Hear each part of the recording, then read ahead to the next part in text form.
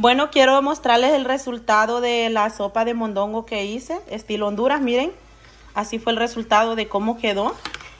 Y este, aquí les tengo el arroz siempre y los plátanos maduros acompañando, miren, la sopa que hice.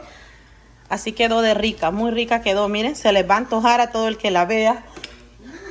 Y aquí tengo lo que usé, los, eh, los condimentos y tengo la leche de coco que usé también. Así que cuando ustedes quieran hacer alguna sopa, así lo pueden hacer.